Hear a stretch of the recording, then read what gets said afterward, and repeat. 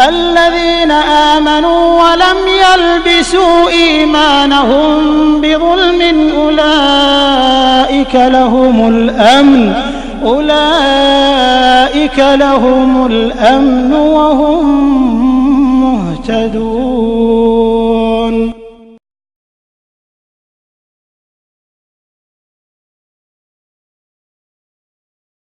مملکت سعودی عربیہ جائیے اللہ کی قسم، ریاض سے نکلیے۔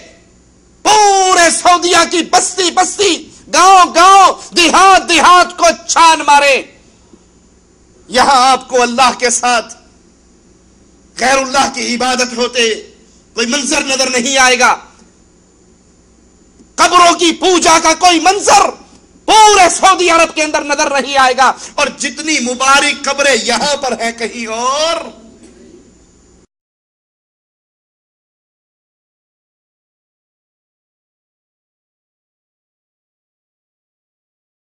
جو لوگ ایمان لائے اور اپنے ایمان کو شرک کے ساتھ آلودہ نہیں کیا، انہی کے لیے امن ہے اور وہی راہ راست پر چل رہے ہیں۔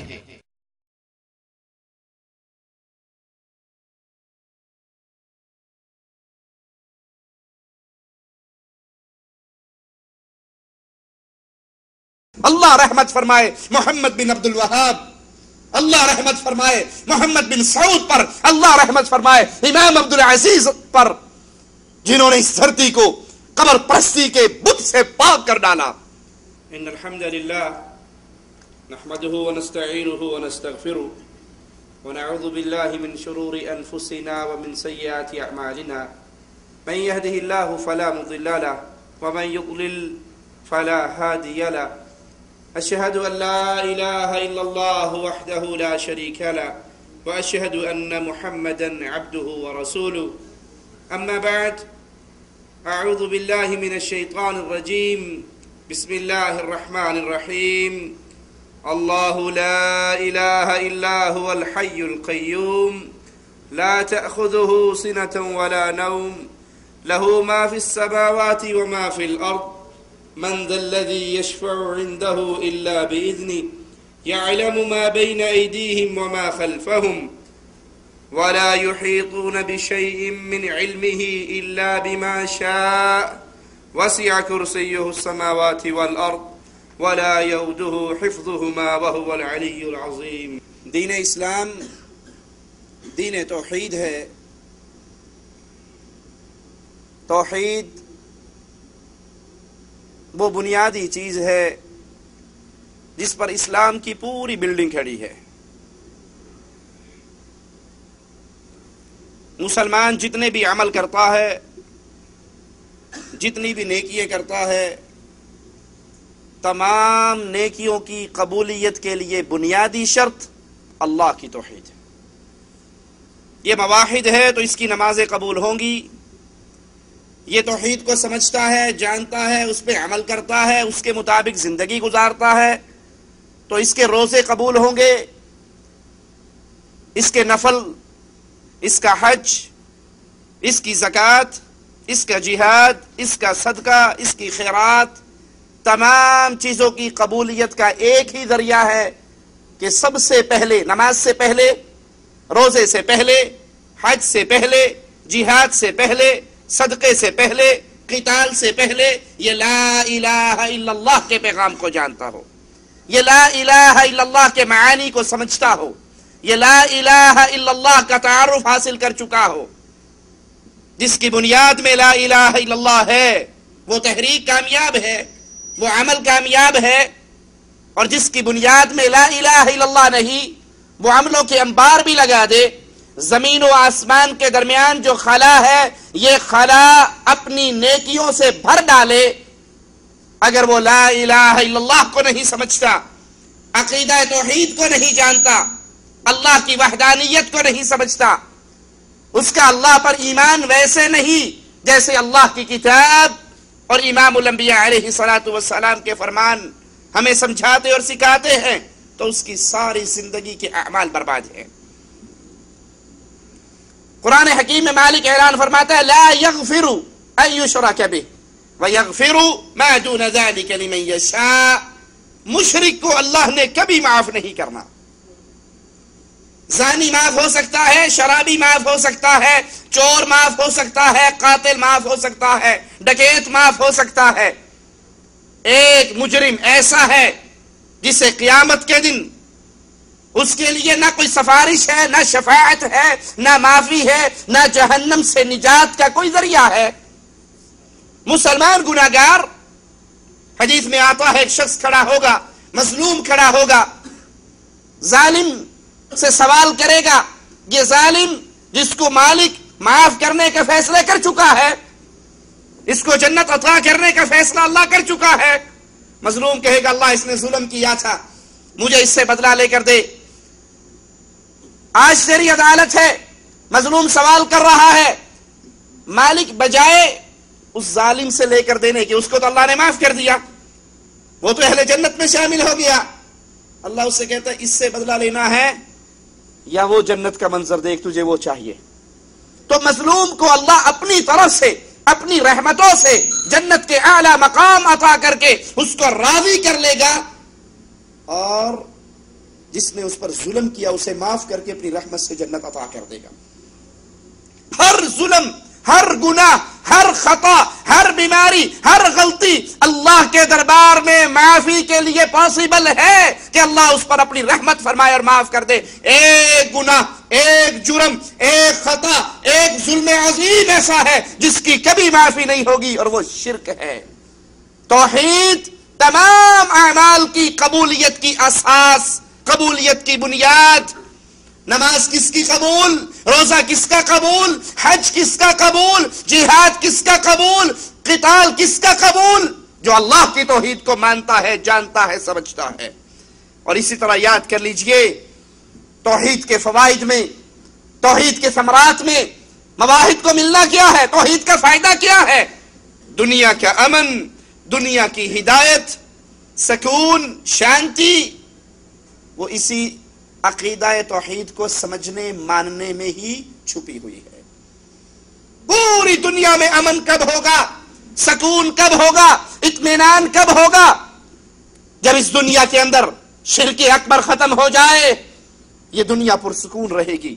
دنیا والے عزت کا سانس لیں گے۔ آئیے اللہ کی کتاب سے سنتے ہیں۔ الذین آمنوا، ہدایت یافتہ کون؟ امن پانے والے کون؟ الذین آمنوا، جو لا الہ الا اللہ کہے، اللہ پر ایمان لے کر آئے، اللہ کی وحدانیت کو سمجھے پھر۔ ولم يلبسوا ایمانهم بظلم اولئک لهم الامن وهم مهتدون۔ لا الہ الا اللہ کہنے کے بعد معاملہ ختم نہیں ہو جاتا، آزادی کا پروانہ نہیں مل جاتا۔ کہ آپ جو چاہے کریں آپ نے لا الہ الا اللہ پڑھ لیا، نہیں اللہ کی کتاب کہہ رہی ہے، الذین آمنوا، جو ایمان لے کر آئے، ولم يلبسوا ایمانهم بظلم اولئک لهم الامن وهم مهتدون ایمان لانے کے بعد پھر وہ ظلم عظیم نہ کرے، وہ شرک اکبر نہ کرے، وہ اللہ کے ساتھ کسی کو شریک نہ کرے، نہ اللہ کی ذات میں، نہ اللہ کی صفات میں، نہ اللہ کی عبادت میں۔ جب اپنے دامن کو وہ شرک اکبر سے بچا لیں گے، دنیا میں امن بھی ہوگا سکون بھی ہوگا اور یہی ہدایت پانے والے ہوں گے۔ میں آپ کے سامنے تصویر کشی کرتا ہوں، جس پیارے ملک کے اندر آپ رہتے ہیں۔ مملکت سعودی عربیہ، جائیے اللہ کی قسم، ریاض سے نکلیے۔ پورے سعودیہ کی بستی بستی، گاؤں گاؤں، دیہات دیہات کو چھان مارے۔ یہاں آپ کو اللہ کے ساتھ غیر اللہ کی عبادت ہوتے۔ کوئی منظر نظر نہیں آئے گا۔ قبروں کی پوجا کا کوئی منظر پورے سعودی عرب کے اندر نظر نہیں آئے گا۔ اور جتنی مبارک قبریں یہاں پر ہیں کہیں اور۔ کوئی تو پوج رہا ہے اپنے پیروں، فقیروں کو۔ کوئی پوج رہا ہے نشے کرنے والوں کو۔ کوئی پوج رہا ہے اغوا کرنے والوں کو۔ کسی کو پوجنے کے لیے کچھ نہیں ملا، اس نے اپنا بعد میں گدھا دبا کر اسی کا نام کھوتے شاہ رکھ لیا۔ کوئی تو کسی کو پوچھ رہا ہے۔ کسی کو کوئی قبر نہیں ملی۔ اس نے خالی قبر بنا کر ہی اس کی عبادت شروع کر دی۔ لیکن جتنی پیاری قبریں مملکت سعودی عربیہ کی دھرتی پر ہیں، قبروں میں سب سے افضل قبر محمد الرسول اللہ کی ہے۔ میرے نبی کے اہل بیت کی ہے، میرے نبی کے گھر والوں کی ہے، میرے نبی کے اصحاب کرام کی ہے۔ وہ ساری یہاں پر موجود ہے لیکن جائیے پوری، پورے ملک کو چھان ماریے، گاؤں گاؤں گھوم لیجیے۔ کہیں آپ کو قبروں پہ سجدے نظر نہیں آئیں گے، قبروں کا طواف نظر نہیں آئے گا۔ قبروں پہ سبز چادریں، کالے جھنڈے اور سرمیلے لکی رانی سرکس کے منظر، یہ آپ کو نظر نہیں آئیں گے۔ کیونکہ اللہ کی توحید قائم ہے، لا الہ الا اللہ قائم ہے۔ غیر اللہ کی پوجا سے یہ معاشرہ پاک ہے۔ اللہ رحمت فرمائے، محمد بن عبد الوہاب اللہ رحمت فرمائے، محمد بن سعود پر اللہ رحمت فرمائے، امام عبد العزیز پر، جنہوں نے اس دھرتی کو قبر پرستی کے بت سے پاک کر ڈالا۔ اور پھر اس معاشرے میں امن بھی ہے، اس معاشرے میں سکون بھی ہے، اس معاشرے میں ہدایت بھی ہے، اس معاشرے میں راحت بھی ہے۔ اور اس کے مقابلے پر اپنے معاشروں میں جائیے، اپنی گلی کوچوں میں گھومیے، جہاں پر ہر چار کلومیٹر کے بعد کسی نہ کسی کی عبادت ہو رہی ہے۔ قبروں پر طواف بھی ہے، قبروں پر سجدے بھی ہے غیر اللہ کے لیے ذبح بھی ہے، غیر اللہ کے لیے پکار بھی ہے۔ مسجدیں ویران ہیں، دربار آباد ہیں۔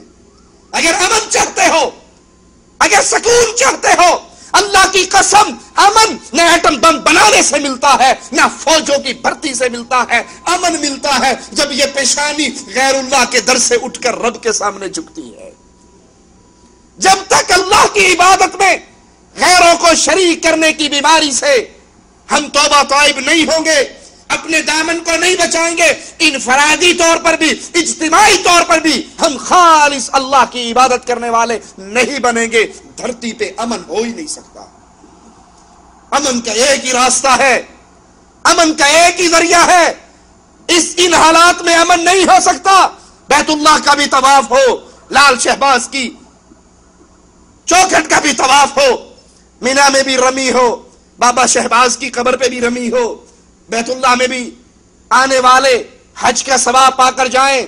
عرصوں پر بھی آنے والے کہیں، ہمارے نزدیک بابا جی کے عرص پہ آنا حج کے برابر ہے۔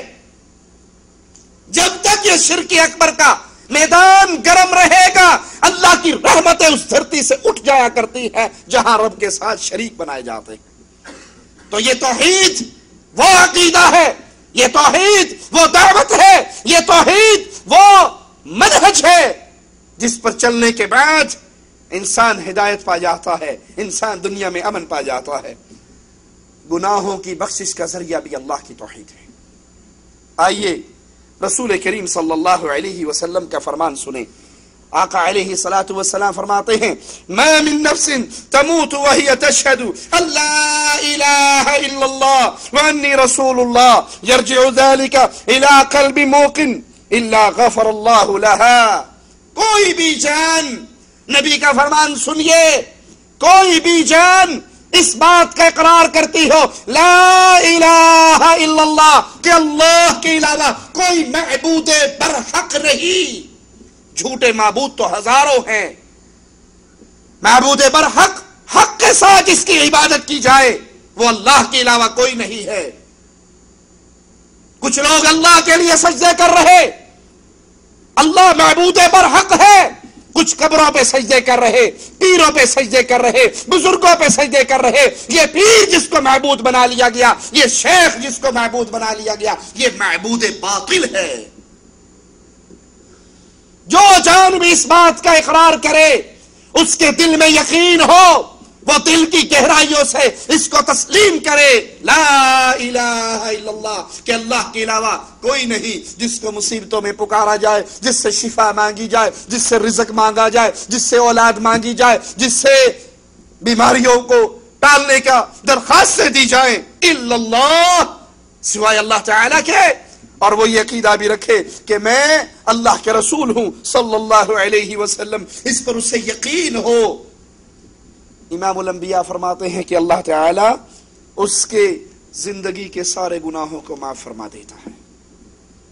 اب سوچئے، جسے یقین ہو کہ اللہ کے علاوہ کوئی الہ نہیں ہے، اللہ کے علاوہ کوئی مشکل کشا نہیں ہے، اللہ کے علاوہ کوئی حاجت روا نہیں ہے، کیا وہ غیر اللہ کے در پہ جا کے سجدے کر سکتا ہے؟ سجدے تو ہوتے وہی ہیں جہاں امید ہو کہ یہاں کا آنے والا خالی ہاتھ نہیں جاتا، وہیں پہ سجدے کرتا ہے۔ انسان وہیں پہ اپنے آپ کو ذلیل بنا کر پیش کرتا ہے، اپنے آپ کو کم تر بنا کر پیش کرتا ہے، جہاں اسے امید ہوتی ہے کہ اس در کا اس در کا منگتا اس در کا بھکاری خالی جھولی لے کر نہیں جھولیے بھر کے جاتا ہے اور یہ در صرف عرش والے اللہ کا در ہے۔ گناہوں کی بخشش کا ایک ہی ذریعہ اللہ کی توحید کو سمجھیے اور اللہ کی توحید پہ قائم ہو جائیے۔ امام الانبیاء علیہ الصلوۃ والسلام کا فرمان سنیں۔ یہ ابن آدم۔ حدیث قدسی ہے۔ مالک فرماتا ہے، یہ ابن آدم۔ اے آدم کے بیٹے، اے اولاد آدم انک لو اتیتنی بقراب الارض خطایا۔ تو میرے پاس آئے تھے، میری ملاقات ہو اس حال میں۔ زمین و آسمان میں جو خلا ہے، یہ سارا خلا تیرے گناہوں سے بھرا ہوا۔ ایک روایت میں آتا ہے، اس زمین سے آسمان تک کا سفر پانچ سو سال کی مسافت کے برابر ہے۔ آسمان کتنا بڑا ہے، زمین کتنی بڑی ہے، یہ خلا کتنا بڑا ہے۔ اے اہل توحید، اے لا الہ الا اللہ کو سمجھنے والوں اے اللہ کی توحید کو اپنے دلوں میں بٹھانے والوں اے اللہ کی توحید کے آوازے کو عام کرنے والوں اس پکار کو لوگوں کی سماج سے ٹکرانے والوں اس دعوت توحید کو لے کر کریا کریا کوچا کوچا گھومنے والوں۔ مبارک ہو تم کو۔ اللہ کیا فرما رہا ہے؟ اے آدم کے بیٹے، اگر تو میرے پاس اس حال میں آئے کہ زمین و آسمان کا یہ خلا سارا تیرے گناہوں سے بھرا ہوا ہو، ثم لقیتنی لا تشرک بی شیئا۔ ایک شرط کے ساتھ۔ یہ زمین و آسمان کا خلا ہر طرح کے گناہ سے بھر جائے۔ ایک شرط کے ساتھ۔ ایک نہ ہو۔ کون سا؟ جھوٹ نہ ہو، چوری نہ ہو، قتل نہ ہو، زنا نہ ہو، ڈکیتی نہ ہو، کیا نہ ہو، شرک نہ ہو۔ آج تو سائل کسی سے پوچھ لے، شرک کے بارے میں تو کہتے ہیں یہ شرک پر کوئی چیز نہیں ہے، بس یہ شیطانی وسوسہ ہے۔ احمد رضا خان صاحب بریلوی اپنی کتاب ملفوظات احمد رضا میں لکھتے ہیں کہ جنید بغدادی دریائے دجلہ پر کنارے پر کھڑے تھے، انہوں نے پار جانا تھا۔ تو وہ یا اللہ یا اللہ کہتے ہوئے دریا پر چلنے لگ گئے، جیسے انسان عام راستے خشکی پہ چلتا ہے۔ پیچھے ایک بابا مرید بھی تھا۔ انہوں نے کہا، شاہ جی تھی تو جان رہے ہو، میں بھی جانا ہے۔ مجھے بھی لے جاؤ۔ کہا، تو کہ یا جنید یا جنید یا جنید۔ مرید نے کہنا شروع کر دیا، یا جنید یا جنید یا جنید۔ دریا نے اس کو بھی راستہ دے دیا۔ اب یہ بھی پانی کے اوپر مسلے سڑک چل رہا ہے۔ احمد رضا خان صاحب لکھتے ہیں کہ جب یہ مرید این دریا کے سینٹر میں پہنچا تو شیطان لعین نے اس کے دل میں وسوسہ ڈالا۔ اور وسوسہ کیا ہے؟ ان کے نزدیک اللہ کی توحید وسوسہ اللہ کی توحید شیطانی وسوسہ ہے۔ کہ این دریا میں درمیان میں آ کر شیطان لعین نے وسوسہ ڈالا کہ پیر صاحب، جنید بغدادی صاحب تو کہہ رہے ہیں، یا اللہ یا اللہ، اور مجھے کہہ رہے ہیں کہ تو کہہ، یا جنید یا جنید، جب وہ اللہ کو پکار کر دریا ان کو راستہ دے رہا ہے تو میں بھی اللہ کو ہی پکارتا ہوں۔ کہا، میں نے یا جنید کی تسبیح چھوڑی اور میں نے کہا، یا اللہ، اور غوطہ کھایا سیدھا اندر۔ ڈوبتے ہوئے کہا، پیر جی میں تو گیا۔ کہا، تینوں کہنے کیا سی، یا اللہ کہنے بڑا بابی ٹکدا نہیں۔ کہا، یا جنید! اس نے ڈوبتے ڈوبتے اندر پانی سے کہا، یا جنید! پانی نے پھر اس کے اوپر نکال دیا۔ لا حول ولا قوت الا بالله انا لله وانا الیہ راجعون۔ ارے، یہ شرک تو کفار مکہ کے شرک سے بھی بڑا ہوا۔ کفار مکہ کی کنڈیشن مالک کے فرمان میں سنیے۔ فَإِذَا رَكِبُوا فِي الْفُلْكِ دَعَوُوا اللَّهَ مُخْلِصِينَ لَهُ الدِّينَ فَلَمَّا نَجَّاهُمْ إِلَى الْبَرِّ إِذَا هُمْ يُشْرِكُونَ مشرقین مکہ کشتییں جب ان کی بھور میں پھنس جایا کرتی تھی لات و عزہ کو بھول کر رب کو پکارا کرتے تھے اور جب وہ آسانیوں میں آتے تھے، پھر اللہ کے ساتھ شرک کرتے۔ اور یہاں بیچ دریا کے اس کے دل میں آیا، کیوں نہ میں اللہ کو پکار لوں؟ تو احمد رضا صاحب لکھتے ہیں، یہ شیطان لعین کا وسوسہ تھا۔ اور مالک کیا فرما رہا ہے، بندے؟ تیری میری ملاقات اس حال میں ہو، زمین و آسمان کا گیب گناہوں سے بھر لائے۔ اس میں ہر طرح کے گناہ ہو سوائے ایک گناہ کے۔ ثم لقيتني لا تشرك بي شيئا. لاتيتك بقرابها مغفرة. اے بندے، اگر زمین و آسمان کے خلا گناہوں سے بھرے ہوئے، شرک والا گناہ اس میں نہ ہوا، میں ساری زمین کا خلا، یہ سارا خلا اپنی رحمتوں سے بھر کے تیرے پاس آؤں گا اور ہر چیز معاف کر دوں گا۔ اور ایک روایت میں ہے کہ گناہوں کو نیکیوں میں تبدیل کر دیا جائے گا، جس پہ اللہ راضی ہے۔ اس کا یہ مطلب نہیں ہے کہ اب سے رج کے گناہ کرنے شروع کر دینا کہ معافتے ہو ہی جانا، سگٹا پینچ کی حرج ہے معافتے ہو ہی جانا، داڑھی منڈ کی حرج ہے یہ جس کے لیے اللہ چاہے گا معاف کرے گا، اور جس کے لیے نہیں چاہے گا، اس کو جہنم کی بھٹی میں ڈال کے پھر نکال کر جنت میں بھیجا جائے گا۔ اللہ اپنی رحمت سے ہمارے گناہوں کو معاف کر دینا۔ ہمیں اس کی سزا دے کے جنت میں نہ بھیجنا۔ ہمیں اپنی رحمت سے معاف کر کے اپنی جنتیں عطا فرمانا۔ توحید، وہ عظیم سرمایہ ہے لوگوں کہ اس توحید کو سمجھنے سے ایمان کی مٹھاس انسان کو نصیب ہو جاتی ہے۔ آئیے رسول کریم صلی اللہ علیہ وسلم کا فرمان سنتے ہیں۔ آقا علیہ السلام نے فرمایا سلاس من کن فیہ وجد بہن حلاوت الایمان، جس کے اندر تین باتیں پیدا ہو جائیں، جس کے دل میں تین باتیں پیدا ہو جائیں، اللہ تجھے تیرے پیارے ناموں کا واسطہ ہے، سب سے پہلے کہنے والے کے دل میں اور پھر ہر سننے والے کے دل میں یہ پیدا فرما دے۔ اللہ، انسانوں کے دل تو تیری انگلیوں کے درمیان ہے۔ تو جیسے چاہتا ہے ان کو موڑ دیتا ہے۔ اللہ ہمارے دل کے اندر یہ تین باتیں پیدا فرما دے تاکہ ہمارا دل بھی ایمان کے ذائقے کو چکے فرمایا، جس کے دل میں یہ تین باتیں پیدا ہو جائیں، اس نے ایمان کے ذائقے کو چکھ لیا۔ دوسرے لفظوں میں وہ پکا مومن بن گیا۔ اس کے ایمان کی گارنٹی محمد الرسول اللہ صلی اللہ علیہ وسلم نے عطا فرما دی۔ وہ کیا ہے؟ من کان اللہ ورسولہ احب الیہ مما سواہما۔ سب سے پہلی بات، اس کے دل میں جو محبت اللہ اور اس کے رسول کی ہو، کائنات میں وہ کسی اور کے لیے۔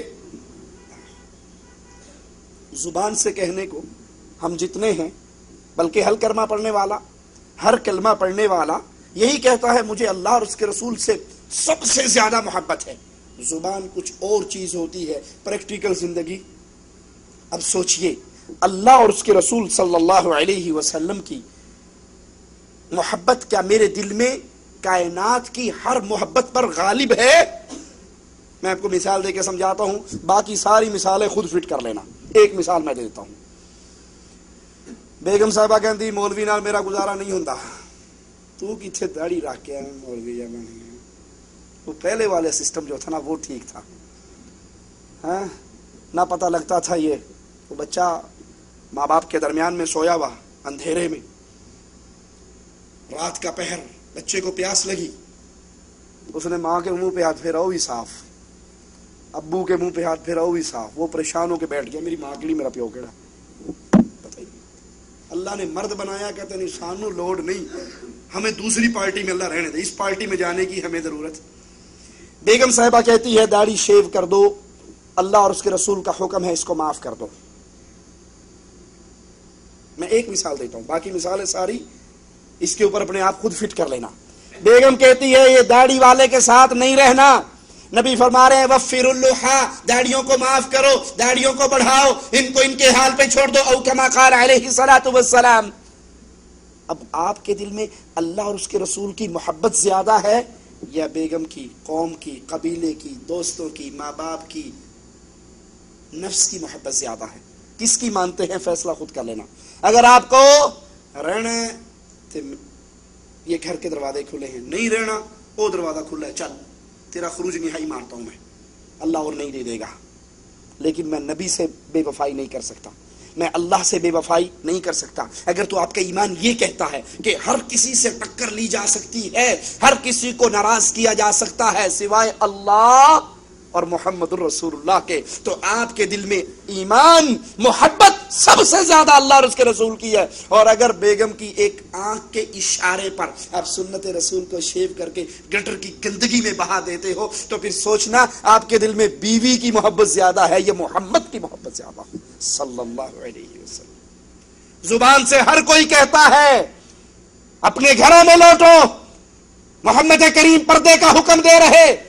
بیوی نہیں مان رہی۔ آپ کس کو رائج کر رہے ہو؟ نبی کریم شادی بیاہ کر کے دکھایا میرے نبی نے۔ ہندوؤں نے بھی کر کے دکھایا۔ آپ کس کے مذہب پر چل کر شادی کر رہے ہو؟ اس طرح اے ٹو زیڈ مسائل کو سمجھتے جاؤ اور تولتے جاؤ۔ میرے دل میں اللہ رسول کی محبت زیادہ ہے یا میرے دل میں خیر اللہ کی محبت زیادہ ہے؟ تو جس کے دل میں اللہ اور اس کے رسول کی محبت ہر محبت پر غالب آ جائے۔ اس نے ایمان کے ذائقے کو چکھ لیا۔ اور دوسری بات، امام الانبیاء فرماتے ہیں، وَإِن لَا يُحِبُّهُ إِلَّا لِلَّهِ وہ کسی بھی آدمی سے محبت کرے، صرف اس بنیاد پر کرے کہ یہ اللہ کا نیک بندہ ہے۔ محبت کی بنیاد کیا ہو؟ میں انڈین ہوں، یہ انڈین ہے، میں پاکستانی ہوں، یہ پاکستانی ہے، میں پٹھان ہوں، یہ پٹھان ہے، میں پنجابی ہوں، یہ پنجابی ہے، میں سندھی ہوں، یہ سندھی ہے۔ یہ محبت کی بنیاد نہیں ہے۔ ہاں جی بالکل ٹھیک ہے۔ وہ فلاں بندے کا رشتہ ہمارے گھر میں آیا۔ دین ایمان کے لحاظ سے تو ہمیں بالکل مقبول ہے، لیکن دیکھو نا، ہم بلوچ۔ ہم بلوچ اور وہ وہ مسلی تیلی کمار۔ ہماری اب اتنی اونچی ذات ہے۔ ان کے ساتھ کیسے اٹیچمنٹ ہو سکتی ہے؟ تو اس کا مطلب ہے، یہ لوگوں سے اللہ کے لیے محبت نہیں کر رہا۔ کسی بھی انسان سے محبت ہو، محبت کی ایک وجہ ہے یہ اللہ کے دین پہ چلنے والا، یہ اللہ کی توحید کو ماننے والا، یہ اللہ کی شریعت پہ عمل کرنے والا، اس لیے میں بھی اس سے محبت کر رہا اور تیسری وجہ، ایمان کا ذائقہ چکھنے کا تیسرا طریقہ، دو تو یہ ہو گئے، تیسرا یہ ہے کہ وہ کفر میں لوٹنا اس کو ایسے لگے جیسے آگ میں چھلانگ مارنا قوم قبیلے کے ہاتھ سے مجبور ہو کر قبروں پہ سجدہ کر آنے والوں برادری کی ناراضگی برداشت نہ کرتے ہوئے دودھ کی سبیل بابا جی کی خبر پہ چلانے والوں، کیا آپ جس کفر سے اللہ نے آپ کو نکالا ہے، جس شر کی وادی سے اللہ نے آپ کو نکالا ہے، آپ چند لوگوں کی ناراضگی برداشت نہ کر سکے اور آپ نے بھی اسی راستے پہ چلنا شروع کر دیا کہ کیا کریں قوم؟ برادری، بیوی بچے، قبیلہ کیا کہے گا؟ تو سمجھ لیجیے آپ نے ایمان کے ذائقے کو نہیں چکھا۔ ایمان کا ذائقہ وہ چکھ رہا ہے جس کے دل میں اللہ اور اس کے رسول کی محبت سب سے بڑی ہو۔ اور وہ کسی سے محبت کرے تو اللہ کے لیے کرے۔ واپس کفر کے وادی میں اترنا اس کے لیے اتنا ہی دردناک ہو جتنا زندہ آگ میں چل جانا برا لگتا ہے۔ تو توحید پوری ہوتی ہے ان تین باتوں پر۔ اور جس کے دل میں توحید پیدا ہو جائے، توحید کے عقیدے کو سمجھ لے، مان لے، یقین کر لے، اس کا دل ایمان سے بھر جاتا ہے۔ توحید شرک سے برات کا سبب ہے۔ جب انسان اللہ کی وحدانیت کو سمجھتا ہے، تو شرک اس انسان سے جدا ہو جاتا ہے۔ عبداللہ بن سلام کہتے ہیں کہ ہم رسول اللہ صلی اللہ علیہ وسلم کے ساتھ جا رہے تھے کہ آپ نے ایک آواز دینے والے کو سنا۔ وہ آواز دے رہا تھا اشہد اللہ الہ الا اللہ و اشہد ان محمد رسول اللہ میں گواہی دیتا ہوں، اللہ کے علاوہ کوئی الہ نہیں ہے اور محمد کریم صلی اللہ علیہ وسلم اللہ کے رسول ہیں۔ تو اللہ کے نبی صلی اللہ علیہ وسلم نے فرمایا، وَأَنَا أَشْهَدُ أَلَّا يَشْهَدُ بِهَا أَحَدٌ إِلَّا بَرِيءٌ مِّنَ الشِّرْكِ اس کی گواہی سن کر، اس کا لا الہ الا اللہ کا واضح سن کر، محمد کریم کی رسالت کا اقرار سن کر آپ نے فرمایا لوگوں میں گواہی دیتا ہوں، جو بندہ اللہ کی توحید کو مانے، میری رسالت کو مانے، ایسے بندے کے بارے میں محمد کریم کی گواہی ہے کہ یہ شرک سے بری ہو چکا ہے۔ لیکن جو لا الہ الا اللہ کو سمجھ کے لا الہ الا اللہ کے مفہوم کو جان کر، لا الہ الا اللہ کے تقاضوں کو سمجھ کے اسے پڑھتا ہے، اس پہ ایمان بناتا ہے، اس کی دعوت دیتا ہے۔ اس کے لیے یہ گارنٹی ہے۔ اور جو لا الہ الا اللہ کی تسبیح بھی پھیرتا رہے، قبروں کے طواف بھی کرتا رہے، غیر اللہ کے لیے سجدے بھی کرتا رہے، غیر اللہ کی نظر و نیاز بھی دیتا رہے، تو اس نے اصلا لا الہ الا اللہ کو سمجھا ہی نہیں ہے۔ توحید وہ عظیم سرمایہ ہے کہ دنیا اور آخرت کی نجات نفع، اس کی گارنٹی اسی توحید کو سمجھنے اور ماننے میں ہے۔ سیدنا انس فرماتے ہیں رسول اللہ صلی اللہ علیہ وسلم نے فرمایا، من قال لا الہ الا اللہ جو لا الہ الا اللہ کہے، جو لا الہ الا اللہ کے قرار کرے، پھر یہ اس کو زندگی میں یہ گواہی اس کے لیے ضرور فائدہ مند ہوگی۔ اس کے اوپر جو مصیبتیں آئیں، جو آئیں اس کی گناہوں کا کفارہ بن جائیں۔ یہ لا الہ الا اللہ کا اقرار اس کے لیے اس دنیا کے اندر بھی اور آخرت کے اندر بھی فائدہ مند ہے۔ ایک صحابی نے ایک کافر کو گرا لیا اور جب تلوار اٹھائی اسے قتل کرنے کے لیے تو اس نے کہا، لا الہ الا اللہ۔ صحابی نے سوچا، غالباً سیدنا خالد بن ولید نے، کہ یہ تو ڈر کے پڑ رہا ہے۔ تو اس کو قتل کر دیا۔ رسول اللہ صلی اللہ علیہ وسلم تک خبر پہنچی، آپ نے کہا، تو نے اسے قتل کر دیا اور وہ کہہ رہا تھا، لا الہ الا اللہ کہ اللہ کے نبی صلی اللہ علیہ وسلم وہ لا الہ الا اللہ ڈر کے کہہ رہا تھا۔ نیچے گرا ہوا تھا، میں اس کے سینے پر چڑھا ہوا تھا، میں نے اس کو قابو کر لیا تھا۔ میری تلوار اٹھ چکی تھی۔ وہ اٹھی ہوئی تلوار کو دیکھ کر اس نے ڈر کے کہہ دیا، لا الہ الا اللہ امام الانبیاء علیہ الصلوۃ والسلام نے فرمایا، کیا تو نے اس کا دل چیر کر دیکھا تھا؟ کہ وہ ڈر کے کہہ رہا ہے۔ قیامت کے دن تیرا کیا حال ہوگا جب وہ اللہ کے دربار میں لا الہ الا اللہ کے اس کلام کو لے کر آئے گا، کہے گا، اللہ، میں نے یہ پڑھا تھا، اس کے باوجود مجھے قتل کر دیا گیا۔ کہ اللہ، میں اس کے اس عمل سے بری ہوں۔ لا الہ الا اللہ، وہ عظیم سرمایہ ہے، توحید وہ عظیم نعمت ہے۔ اس کے فوائد میں سے ایک بہت بڑا فائدہ کہ اس کا اقرار کرنے والا دنیا اور آخرت کے اندر اس کی فائدے کی گارنٹی اللہ تعالی کی طرف سے ہے۔ جو شخص اس کو مان لے، اس کو تسلیم کر لے، اس پر یقین کر لے، اس کے مطابق زندگی گزار لے، وہ نہ یہاں پہ خسارہ پانے والا ہے، نہ وہاں پہ خسارہ پانے والا۔ رسول کریم صلی اللہ علیہ وسلم ایک سفر سے آ رہے۔ جنگل کے اندر فجر کے وقت ایک چرواہے کی آواز سنتے ہیں۔ آواز لگانے والا آواز لگاتا ہے۔ اللہ اکبر اللہ اکبر۔ اللہ کے نبی فرماتے ہیں، انت علی الفطرہ۔ تو فطرت سلیم پر ہے کہ اللہ کی کبریائی کو تسلیم کرتا ہے۔ اس نے پھر آواز لگائی، اشہد اللہ الہ الا اللہ۔ امام الانبیاء نے فرمایا، نجوت من النار۔ تو لا الہ الا اللہ کا اقرار کر کے جہنم کی آگ سے نجات پا چکا ہے۔ جو اللہ کی توحید کو سمجھ لے، لا الہ الا اللہ کو مان لے، اس کا اقرار کر لے، یہ اس کے لیے جہنم سے نجات کا اعلان ہے۔ توحید وہ عظیم سرمایہ ہے، وہ عظیم سرمایہ ہے کہ مواحد کے لیے قیامت کے دن رسول اللہ صلی اللہ علیہ وسلم کی شفاعت ہوگی۔ اللہ کے نبی کی سفارش، اللہ کے نبی کی شفاعت کا حقدار قیامت کے دن مواحد ہوگا توحید کو سمجھنے والا۔ سیدنا ابو حریرہ رضی اللہ عنہ فرماتے ہیں کہ اللہ کے نبی نے فرمایا، میری شفاعت کا سب سے زیادہ حقدار وہ ہے۔ من قال لا الہ الا اللہ خالصا من قلبه او نفسه، جس نے دل و جان سے خالص ہو کر لا الہ الا اللہ کہا ہوگا، قیامت کے دن محمد کریم کی شفاعت کا یہ حقدار ہوگا۔ وہ اللہ کے نبی کی شفاعت کے حقدار نہیں۔ جو آواز لگاتے ہیں نہ میں کعبے گیا، نہ سو سو طواف کیتے، نہ میں گنگا گیا، نہ میں اشنان کیتے، نہ میں نمازاں پڑھیاں، نہ میں تسبے پھیرے، نہ میں روزے رکھے۔ بلے شاہ نو مرشد ملیا انہیں ایویں جا بخشایا۔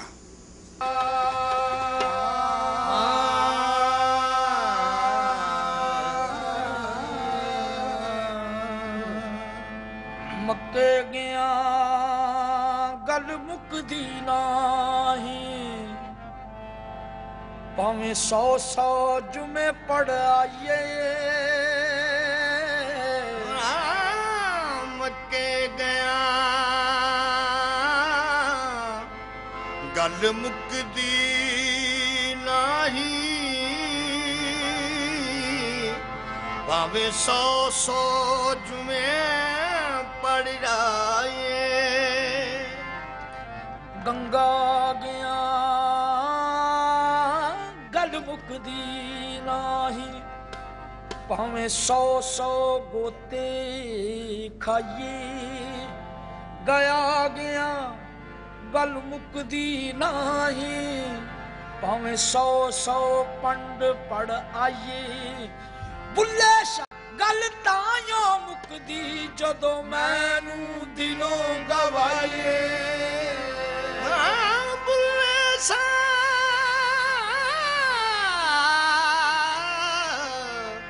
ਗੱਲ ਤਾਈਓ ਮੁਕਦੀ। ਜਦੋਂ ਮੈਨੂੰ ਦਿਲੋਂ ਗਵਾਏ, ਨਾ ਮੈਂ ਪੂਜਾ ਪਾਠ ਜੋ ਕੀਤੀ, ਤੇ ਨਾ ਮੈਂ ਗੰਗਾ ਨਹਾਇਆ।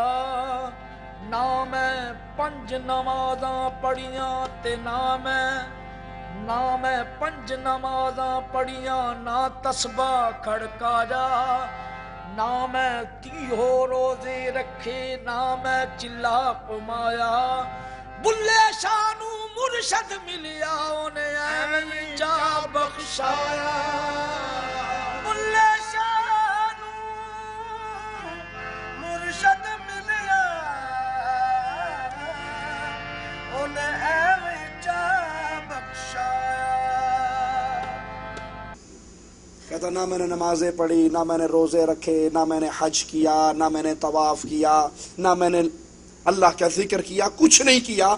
بلے شان و مرشد ملیا انہیں ایویں کیا بخشایا؟ میری باپ پھڑ گیا تو معافی کرا کے جنت بھیج دیتا۔ جنت نہ ہوئی، خالہ جی کا بڑا ہو گیا۔ جو چاہے بخشوا کے جنت دے دیں۔ جنت جانے کا اصول۔ جنت جانے کی شرط اللہ کی نبی فرما رہے ہیں، میری شفاعت کا حقدار وہ ہوگا جس نے لا الہ الا اللہ کہا اور صرف نبی اس لا الہ الا اللہ کے اقرار پر رکے نہیں، بلکہ فرمایا، خالصا من قلبی ہی او نفسی ہی دل و جان سے خالص ہو کر اس نے لا الہ الا اللہ کے اقرار کیا۔ کیا معنی؟ دل و جان سے خالص ہونے کا معنی کیا ہے؟ لا الہ الا اللہ کہنے کے بعد پھر کبھی اس نے غیر اللہ کو نہیں پکارا، کبھی یا علی مدد کے نعرے نہیں لگائے، کبھی یا رسول اللہ مدد کے نعرے نعرے نہیں لگائے، کبھی قبروں کا طواف نہیں کیا، کبھی قبروں پہ سجدہ نہیں کیا، کبھی غیر اللہ کے لیے نظر نہیں دی، کبھی غیر اللہ کا ڈر اللہ والا خوف اپنے دل میں نہیں بٹھایا، اللہ والی محبت غیر اللہ کی اپنے دل میں نہیں بٹھائی، کبھی جانوروں کی ذبح انہوں نے غیروں کے نام پہ نہیں کیا خالص سن وہ خالص اللہ کی توحید کو سمجھے، دل و جان کے اندر رب کی توحید کو جگہ دی، قیامت کے دن یہ حقدار ہے، محمد اس کی شفاعت کریں گے، رب اس کو جنت عطا کر دے گا۔ صلی اللہ علیہ وسلم۔ اللہ کی توحید کو سمجھنا عام بات نہیں ہے، یہ عام درس نہیں ہے، یہ عام سبق نہیں ہے، یہ توحید نجات ہے اس دھرتی پر بھی اور آخرت کے دن بھی۔ اس نجات کی چابی لا الہ الا اللہ ہے۔ توحید اللہ کی رضا کا سبب ہے۔ مواحد سے اللہ راضی ہو جاتا ہے۔ ابو داود میں اور ابن ماجہ میں ہے۔ اللہ کے نبی صلی اللہ علیہ وسلم نے فرمایا فرمان رسول سنیے، اپنے عقیدوں پہ غور کیجیے۔ اللہ کے نبی فرما رہے ہیں، کوئی بھی شخص صبح یا شام، صبح شام تین مرتبہ یہ دعا پڑھ لے۔ کوئی بھی شخص صبح شام تین مرتبہ یہ دعا پڑھ لے۔ رضیت باللہ ربا، میں اللہ کے رب ہونے پر راضی۔ وبالاسلام دینا اسلام کے دین ہونے پر راضی۔ وبی محمد النبیہ۔ محمد کریم صلی اللہ علیہ وسلم کے نبی ہونے پر راضی. الا كان حقا علی اللہ ان یرضیہ یوم القیامہ. تو اگر وہ تین مرتبہ صبح شام یہ دعا پڑھ لیتا ہے، اللہ کے نبی فرماتے ہیں، اس کا اللہ پر، اس کی رحمت سے یہ حق ہوتا ہے کہ اللہ قیامت کے دن اسے راضی فرمائیں گے۔ رضیت باللہ ربا. یہ اعلان کرے صبح شام۔ میں اللہ کے رب ہونے پر راضی ہوں۔ کیا معنی؟ اللہ کے رب ہونے پر راضی ہوں، کیا معنی؟ میں مثال دے کے سمجھاتا ہوں۔ ایک شخص ایک کمپنی میں جاب کر رہا ہے۔ اس کو پانچ ہزار ریال سیلری مل رہی۔ اس کی دال روٹی اچھائی چل رہی، بچت بھی ہو رہی۔ اب وہ راضی ہے۔ وہ دائیں بائیں نہیں جھانکے گا۔ ایک بندے کو پندرہ سو مل رہی۔ وہ اس پہ راضی نہیں ہے۔ وہ کبھی ادھر ٹرائی مارے گا، کبھی ادھر ٹرائی مارے گا، کبھی یہاں درخواست دے گا، کبھی وہاں درخواست دے گا۔ صحیح ہے یا نہیں؟ ایک بندے کو اچھی بیوی مل گئی، اس پہ راضی ہو گیا۔ ایک کو اچھی نہیں ملی، وہ ٹرائی میں لگا رہے گا، کوئی اچھی رشتہ آئے تو میں کسی نے بھی نہ دسا تو قبول کر کے ہی دسا جو کسی بات پہ راضی ہو جائے، راضی ہونے کے بعد وہ دائیں بائیں نہیں جھانکتا۔ من راضی باللہ! جو اللہ پر راضی ہوا، اس کو رب مان کر، داتا مان کر، غوث اعظم مان کر، بری کرنے والا مان کر، غریب نواز مان کر، بندہ نواز مان کر جب وہ اللہ پر راضی ہو جاتا ہے، نہ کسی اور در پہ سجدے کرتا ہے، نہ کسی در کا سوالی بنتا ہے۔ جس نے اللہ کو اللہ کہا، لیکن غیروں کے در پہ جھکتا رہا، غیروں سے ڈرتا رہا، غیروں کا محتاج اور ان کا فقیر بنتا رہا۔ ان کے در کا سوالی بنتا رہا تو حقیقت میں وہ اللہ کے رب ہونے پر راضی نہیں ہوا۔ جو اسلام کے دین ہونے پر راضی ہو جائے، کیا معنی؟ ہر مسئلہ پھر اسلام سے پوچھے۔ ہر مسئلہ، شادی کرنی ہے، اسلام سے پوچھتا ہے، طلاق دینی ہے، اسلام سے پوچھتا ہے۔ تجارت کرنی ہے، اسلام سے پوچھتا ہے، سیاست کرنی ہے، اسلام سے پوچھتا ہے۔ ہر مسئلے میں وہ اسلام کو دیکھتا ہے۔ میں اس دین پر راضی ہوں۔ اگر میں نے اسلام کو چھوڑ کر معیشت، معاشرت، سیاست، تجارت، کفار، یہود و نصارہ کے طریقے پہ کی، تو میں پھر اسلام پہ راضی نہیں ہوا۔ میں نے تو دائیں میں جھانکنا شروع کر دیا۔ جو اسلام کے دین ہونے پر راضی ہے، اس کا معنی یہ ہے کہ وہ کسی مسئلے میں بھی اسلام کو چھوڑ کر غیر کی طرف نہیں دیکھتا۔ جو راضی ہوا محمد کریم صلی اللہ علیہ وسلم کے نبی ہونے پر۔ کیا معنی؟ محمد کریم کے نبی ہونے پر راضی ہونے کا مطلب کیا ہے؟ کہ زندگی کے ہر مسئلے میں اس نے پھر امام ایک ہی مانا ہے۔ امام اعظم، قائد اعظم، رہبر اعظم ایک ہی ذات کو سمجھا اور وہ ذات گرامی محمد الرسول اللہ کی۔ نماز پڑھتا ہے تو محمدی، طلاق دیتا ہے تو محمدی، نکاح کرتا ہے تو محمدی۔ حلالے والی پارٹی میں جھانتی نہیں مارتا پھر۔ وہ ایک ایک مسئلے میں دیکھتا ہے امام الانبیاء کا فرمان کیا ہے۔ وہ مقام رسالت پر اپنے نہ کسی شیخ کو بٹھاتا ہے، نہ پیر کو بٹھاتا ہے، نہ امام کو بٹھاتا ہے۔ وہ کہتا ہے جب سے مدنی سرکار کو اپنی آنکھوں میں سجایا ہے، کسی اور کی طرف دیکھنے کے لیے دل ہی نہیں چاہتا۔ میں کسی اور کو امام کب پکڑوں، پیر کب پکڑوں، شیخ کب پکڑوں، مرشد کب پکڑوں؟ جب میں محمد کریم پر راضی نہ ہوں، مثال سے سمجھ لیجیے، کسی آدمی کی دوستی ایم پی اے سے ہو، صوبائی اسمبلی کے ممبر سے ہو، اس کی کوشش ہوگی نا؟ کوئی ایم این اے نال بھی یاری لانی چاہیے۔ کئی کام ایسے ہیں جو ایم پی اے نہیں کر سکتا۔ اس کے لیے ایم این اے کا ٹیلی فون چاہیے ہوتا ہے۔ کوئی ایسا جگاڑ لگاتے ہیں کہ کسی ایم این اے سے بھی دوستی ہو جائے۔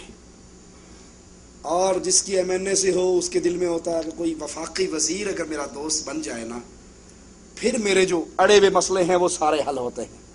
اور جس کی وفاقی وزیر سے دوستی ہے، وہ کیا چاہتا ہے؟ کہ اگر وزیر اعظم سلام دعا ہو جائے نا، پگا لی موقع پھر۔ وزیر اعظم صدر، ان سے دوستی، بادشاہ سے دوستی۔ کیوں؟ ایم پی اے والا ایم این اے کے بارے میں کیوں سوچتا ہے کہ وہ جانتا ہے ایم این اے کا مقام ایم پی اے سے زیادہ ہے؟ ایم این اے والا وفاقی وزیر کے بارے میں کیوں سوچتا ہے؟ وہ کہتا ہے اس کا مقام اس سے زیادہ ہے۔ وزیر وزیر اعظم کے بارے میں کیوں سوچ رہا ہے؟ وہ جانتا ہے اس کا مقام اس سے زیادہ ہے۔ اچھا جس کی دوستی وزیر اعظم یا صدر سے یا بادشاہ سے لگ جائے، وہ کبھی سوچے گا یار کسی ایم این اے سے بھی دوستی ہونی چاہیے؟ مینو کی لوڑ ہے میں نے میری ڈائریکٹ وزیر اعظم سے بات ہے۔ میری ڈائریکٹ بادشاہ سلامت سے بات ہے۔ میری ڈائریکٹ صدر مملکت سے بات ہے۔ کوئی بغداد کی گلیوں میں پیر ڈھونڈتے ہوئے گم ہو گیا۔ کوئی بریلی کی گلیوں میں گم ہو گیا۔ کوئی دیوبند کے دروازوں پہ خاک چھانتا رہا۔ ہم نے پیر مانا ہے، امام مانا ہے، مرشد مانا ہے، قائد مانا ہے۔ امام اعظم محمد الرسول اللہ کو صلی اللہ علیہ وسلم ہمیں نہ کوفہ جانے کی حاجت ہے، نہ بغداد جانے کی حاجت ہے، نہ بریلی جانے کی حاجت ہے، نہ دیوبند جانے کی حاجت ہے۔ کیوں؟ اس لیے ہم نے اس کو امام مانا ہے، اس سے بڑا نہ پیدا ہوا ہے، نہ ہوگا۔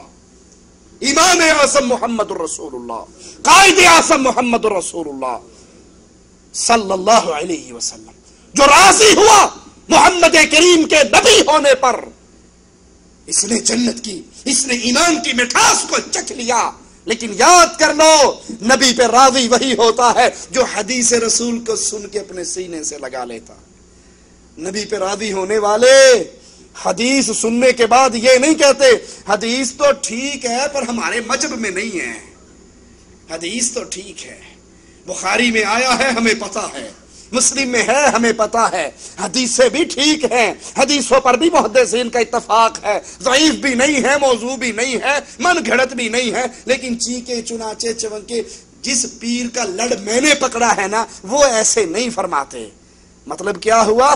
تو نے اس پیر کی بات کو فوقیت دی ہے اور محمد کی بات کو نیچے گرا دیا ہے۔ صلی اللہ علیہ وسلم۔ اس کا معنی ہے تو نبی کے نبی ہونے پر راضی صحابی کہہ رہے ہیں، اللہ کی بندیوں کو، اللہ کے گھروں میں آنے سے نہ روکو۔ رسول اللہ کی حدیث ہے، صلی اللہ علیہ وسلم۔ سگا بیٹا کہہ رہا ہے، با، وہ نبی کا دور تھا، فتنے نہیں تھے۔ آج کے دور میں فتنے بہت بڑھ گئے ہیں۔ میں روکوں گا۔ کہا، میں نے تجھے حدیث رسول سنائی اور تو نے پھر کہا، میں روکوں گا۔ میں مرتے دم تک تجھ سے دوبارہ کلام ہی نہیں کروں گا۔ وہ نبی کو نبی ماننے میں راضی ہے؟ جنہوں نے احادیث رسول کو پیروں، فقیروں، اماموں، بزرگوں، ولیوں کی بات کو مان کر ٹھوکر حدیث کو مار دی۔ حدیث تو ٹھیک ہے، لیکن ہماری فقہ میں نہیں ہے، ہمارے بزرگوں نے یہ نہیں سکھایا۔ ساری بزرگی، ساری امامت، سارے بڑائی، ان کی بڑائی ختم ہو جاتی ہے محمد کے سامنے، صلی اللہ علیہ وسلم۔ ہماری باتوں کو سن کر کوئی یہ نہ کہے، ہم پیروں کو نہیں مانتے، اماموں کو نہیں مانتے۔ ہم سب کا احترام کرتے ہیں محمد کے احترام کے بعد۔ صلی اللہ علیہ وسلم۔ محمد کریم کو نبی مانگے پھر زندگی کا ہر مسئلہ۔ اس پہ ایک نظر رکھو، میرے آقا نے کیا کیا؟ میرے نبی جماعت کرا رہے، دوران نماز جوتے اتار کے سائڈ پہ رکھ دیے۔ سلام پھیرا تو ہر صحابی کے جوتے اتر چکے تھے۔ کسی صحابی نے دلیل نہیں پوچھی۔ کیونکہ نبی کریم کا فرما دینا، نبی کریم کا عمل کرنا، آپ کے سامنے کوئی عمل ہو اور آپ کا خاموش ہو جانا اس عمل کو دین بنا دیتا ہے۔ آپ نے پوچھا، میرے صحابہ تم نے جوتے کیوں اتارے؟ کہا، آقا، آپ نے جو اتار دیے تھے۔ آپ نے جو اتار دیے تھے۔ یہ محبت ہے، یہ اتباع ہے۔ نبی کا عمل، نبی کا فرمان، وہ ایسی عزت رکھتا ہے۔ کہ اس کے سننے کے بعد پھر یہ نہیں ہاں جی آپ سے ہم نے حدیثیں تو سن لی، پڑھ بھی لی ہیں، لیکن میں اپنے مولوی صاحب سے مشورہ کرنے کے بعد دیکھوں گا۔ حدیث رسول سن کر، حدیث رسول کا علم حاصل کر کے پھر اس حدیث کی منظوری کے لیے مولوی کے سائن چاہیے۔ اس سے بڑی بدنصیبی اور کیا ہوگی؟ لوگوں توحید انسان کو جہنم سے نجات دلواتی ہے۔ یہ عقیدہ توحید کا فائدہ ہے۔ اس کا ثمر ہے کہ انسان جہنم کی آگ سے بچ جاتا ہے۔ بخاری و مسلم میں ہے۔ امام الانبیاء، امام کائنات، امام آدم محمد الرسول اللہ صلی اللہ علیہ وسلم فرماتے ہیں، من شہید اللہ الہ الا اللہ وان محمد رسول اللہ حرم اللہ علیہ النار. جو گواہی دے لا الہ الا اللہ، محمد الرسول اللہ کی، اللہ اس کے چہرے کو جہنم کی آگ پہ حرام کر دیتا ہے۔ اگر لا الہ الا اللہ کی گواہی دینے کے بعد شرک اکبر باقی رہے، غیر اللہ کی پوجا باقی رہے، اللہ کے شریک بنانے کی بد عادت باقی رہے، تو انسان جہنم کی آگ سے کبھی نہیں بچ سکتا۔ اور اب تو یہ عادت بطور ثواب کی جاتی ہے۔ اللہ کا شریک بنا کر اس کو بھی نیکی سمجھ کے بناتے ہیں۔ ایک ذاکر کی گفتگو میں سن رہا وہ کہنے لگا، علی مشکل کشا ہے۔ علی مشکل کشا ہے۔ میں کیا چیز ہوں؟ قرآن سے پوچھو۔ اللہ۔ لا حول ولا قوت الا باللہ زبان تھر تھراتی ہے جملوں کو دہراتے ہوئے۔ صرف اس اللہ کے ساتھ کیے گئے شرک کے آوازیں کو ننگا کرنے کے لیے اپنے رب سے معافی مانگ کر میں اس کفر کو بیان کر رہا ہوں تاکہ آپ کی آنکھوں پہ پڑے ہوئے پردے گر جائیں۔ اللہ محتاج علی کا ہے۔ میں کیا ہوں؟ قرآن سے پوچھو۔ اللہ کا سہارا بھی علی ہے۔ لا حول ولا قوت الا باللہ۔ انا للہ و انا الیہ راجعون مشکل میں چارہ علی میں پوچھو، رب کا بھی سہارا جب شرک اکبر اس درجے پر پہنچ جائے، اللہ کے ساتھ شراکت اس حد تک پہنچ جائے، رب محمد کی قسم، وہاں پہ پھر یہ لا الہ الا اللہ کہنے کا فائدہ نہیں ہوگا۔ یہ فائدہ تب ہے جب اس پہ یقین ہو یہ خالص دل کے ساتھ کہا جائے اور دل سے ہر طرح کی شرک کی نجاستیں نکال کے پھینک دی جائیں۔ اللہ کی توحید کو مان لیا جائے تو پھر مبارک ہو کہ توحید کا عقیدہ سمجھنے والے کے چہرے پر اللہ جہنم کی آگ حرام کر دیتا ہے۔ بخاری و مسلم میں ہے۔ امام الانبیاء فرماتے ہیں، فَإِنَّ اللَّهَ حَرَّمَ عَلَى النَّارِ۔ مَنْ قَالَ لَا إِلَهَ إِلَّا اللَّهِ، يَبْتَغِي بِذَلِكَ وَجْهَ اللَّهِ۔ جو اللہ کو راضی کرنے کے لیے لا الہ الا اللہ پڑھے، اقرار کرے، ایمان لائے۔ اللہ ایسے انسان پر جہنم کی آگ کو حرام کر دیتا ہے۔ مقصود کیا ہو لا الہ الا پڑھنے کا؟ کہ اللہ راضی ہو۔ اور جس کی منشا یہ ہو کہ بابا جی راضی ہو جائیں۔ وہ مظفر آباد سے نکلتے ہوئے سہیلی سرکار کے دربار میں پچاس روپے اس لیے ڈالے۔ پچاس روپے ڈالتا پھر بابے کی قبر کی طرف منہ کر کے ہاتھ جھکاتا ہے، ہاتھ مانتا ہے، سر جھکاتا ہے۔ بابا جی پلی کرے آجے۔ اس کا یہ ڈر ہے دل میں۔ بابے کو اگر صبح صبح پیسے نہ دیے، چلتی گاڑی کو الٹ دے گا، برباد کر دے گا۔ آج کا دودھ اگر گیارہویں والے بابے کے نام پہ نظر نہ دی بھینس مار دے گا۔ اس کے لا الہ الا اللہ کا اعتبار نہیں ہے، کیونکہ اس نے اس مرضی سے پڑھا نہیں کہ اللہ راضی ہو۔ اس نیت سے اس کلمے کو اقرار نہیں کیا کہ اللہ راضی ہو۔ اللہ تو صرف وحدوں سے راضی ہوتا ہے، اہل شرک سے رب راضی نہیں ہوتا۔ توحید انسان کو جنت میں داخل کرواتی ہے۔ بخاری و مسلم میں ہے۔ امام الانبیاء، امام کائنات، امام اعظم محمد رسول اللہ صلی اللہ علیہ وسلم فرماتے ہیں، من شہد اللہ الہ الا اللہ وحدہ لا شریک له وان محمدا عبده ورسوله وان عیسى عبد الله ورسوله وكلمته القاها الى مريم وروح منه والجنة حق والنار حق ادخلہ اللہ الجنہ علی ما کان من العمل۔ یہ حدیث پورا عقیدہ ہے۔ امام الانبیاء فرما رہے ہیں، جس نے یہ گواہی دی کہ اللہ وحدہ لا شریک ہے، کوئی اس کا شریک نہیں، کوئی اس کا بیٹا نہیں، کوئی اس کے نور کا ٹکڑا نہیں، محمد کریم نور من نور اللہ نہیں، بلکہ وہ وحدہ لا شریک ہے، ذات و صفات و عبادت میں۔ اور یہ گواہی دی کہ محمد صلی اللہ علیہ وسلم عبدہ و رسول اللہ کے بندے ہیں اور اللہ کے رسول ہیں۔ اور یہ گواہی دی کہ عیسیٰ اللہ کے بندے ہیں اور اللہ کے رسول ہیں۔ اللہ کا کلمہ تھا جو اللہ نے مریم کی طرف القا کیا اور اپنی روح میں پھونکی۔ جنت حق ہے، جہنم حق ہے۔ جس نے یہ عقیدہ بنا لیا یہ ایمان بنا لیا، اس کے عمل کیسے بھی ہوں، اللہ تعالیٰ اس کو جنت میں داخل کر دیتا ہے۔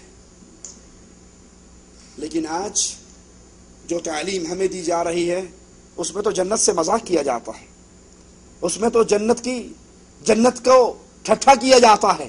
عزیز میاں، قوال بڑا مشہور قوال ہے۔ اس کی قوالی کے چند جملے آپ بھی سنیے۔ وہ کہتے ہیں، جنت جو ملے تو لا کر میں خانے میں رکھ دینا۔ میں خانہ سمجھتے ہیں نا؟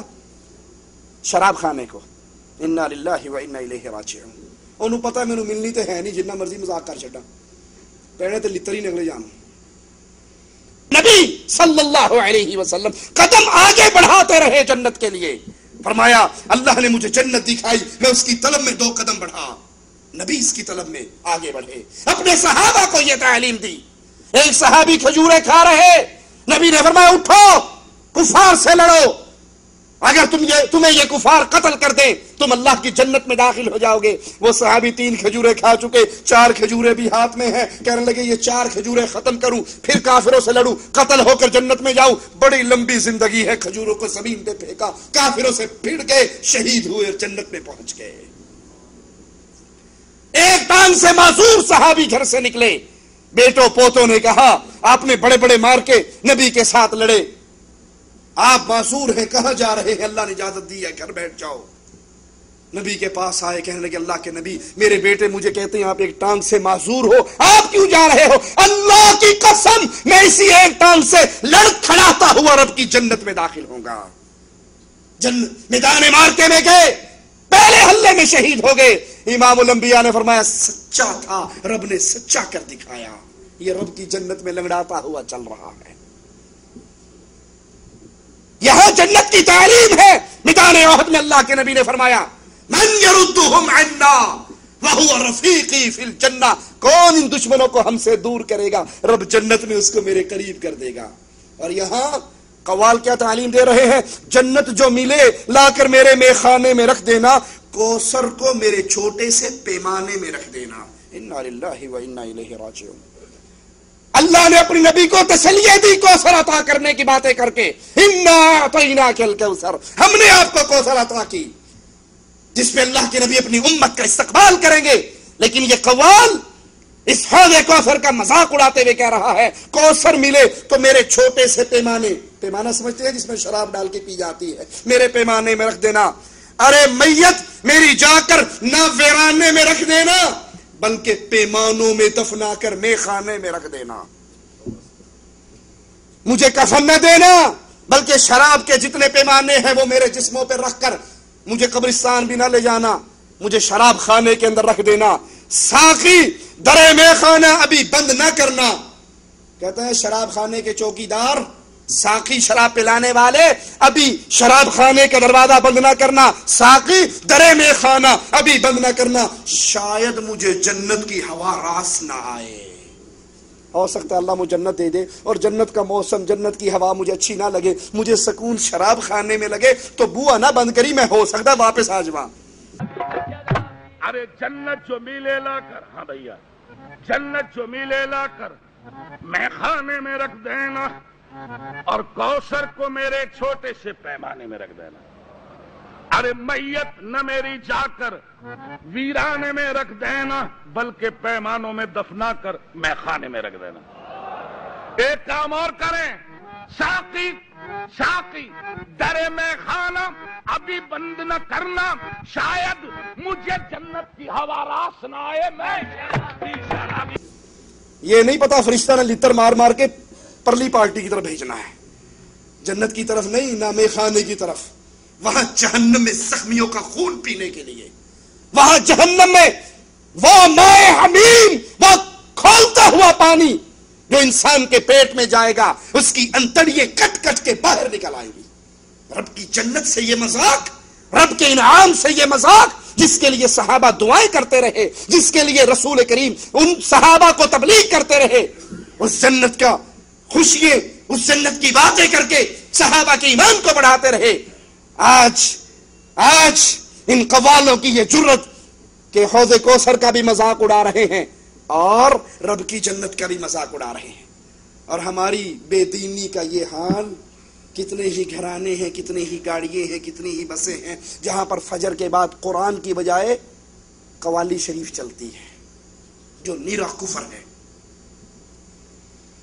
میری ایک بات کو یاد کر لینا، گانے سننا گانے سننا گناہ ہے، لیکن قوالی سننا ہو سکتا ہے، انسان کو قوالی سن کر انسان وادی ایمان سے نکل کے کفر میں داخل ہو جائے۔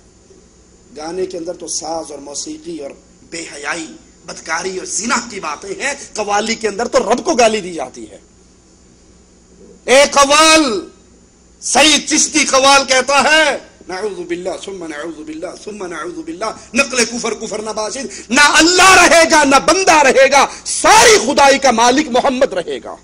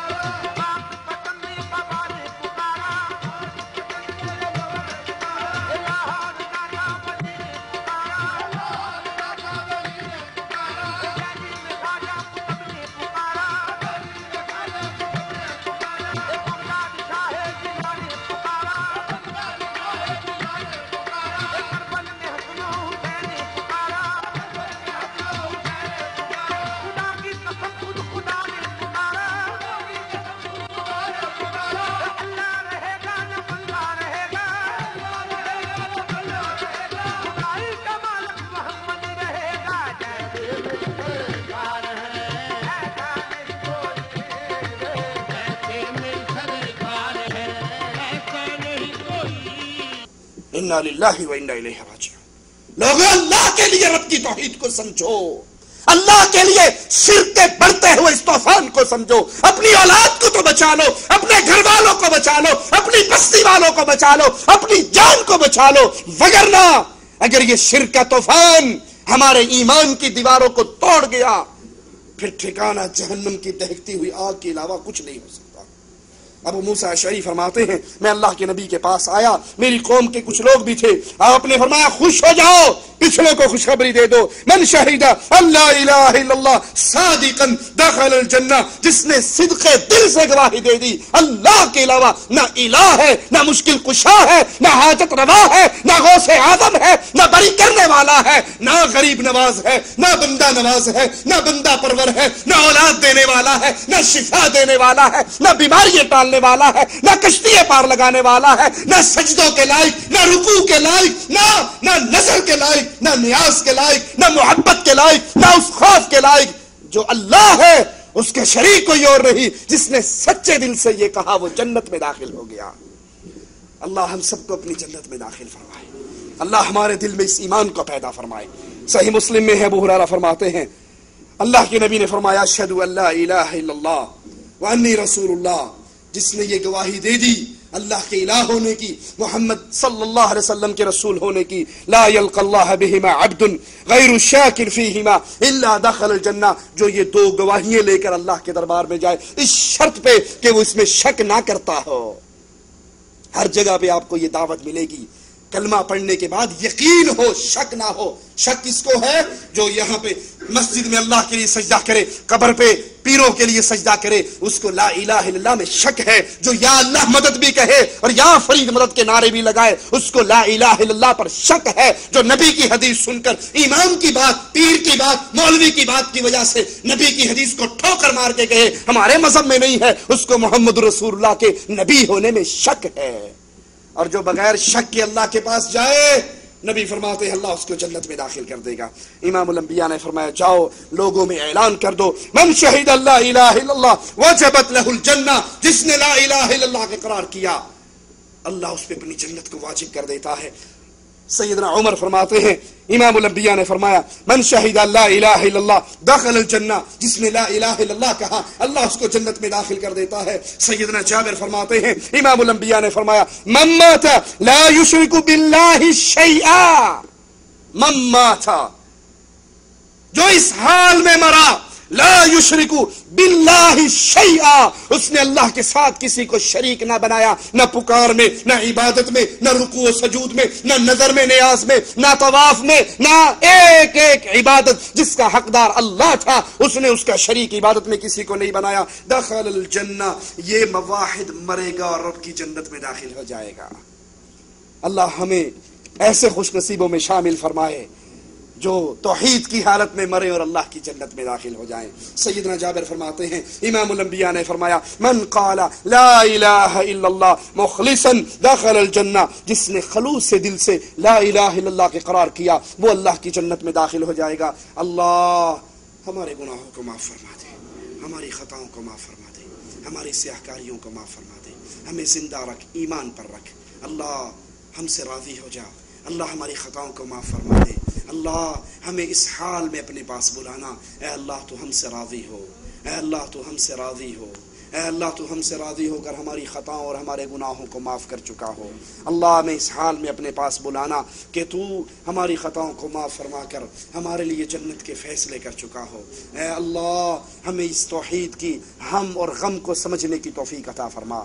اللہ ہمارے دل کے اندر یہ غم بھر دے کہ ہم تیری لا الہ الا اللہ کے آوازے کو لے کر اپنے بھائیوں تک اس دعوت کو پہنچائیں، کتاب کے ذریعے، سی ڈی کے ذریعے، کیسٹ کے ذریعے، کسی کو درس میں لا کر، جو میری طاقت ہے، اگر میں اپنی زبان سے سمجھا سکتا ہوں تو میں اس کو اپنی زبان سے سمجھاؤں۔ اگر مجھ میں سمجھانے کی ہمت نہیں، کتاب اس کو دوں، کیسٹ اس کو دوں، سی ڈی اس تک پہنچاؤں، اس کو کھینچ کے اپنے ساتھ اہل توحید کے درسوں میں، پروگراموں میں لے کر آؤں۔ یاد کر لو لوگوں اگر کسی انسان کی محنت سے کوئی ایک بندہ بھی اللہ کی توحید کو سمجھنے والا بن گیا، اس کی ساری نیکیاں قیامت کے دن جہاں اس کے پلڑے میں ہوں گی، وہاں آپ کے پلڑے میں بھی ہوں گی۔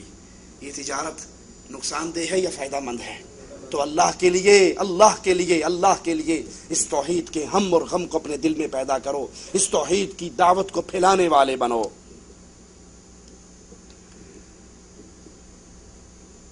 کسی نے پوچھا ہے یہ فطورہ بڑھا کر لینا یا دینا صحیح ہے یا غلط ہے؟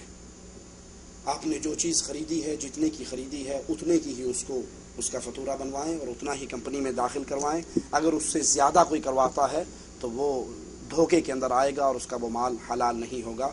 اقول قولی هذا واستغفر الله لي ولكم ولسائر المسلمين فاستغفروه انه هو الغفور الرحيم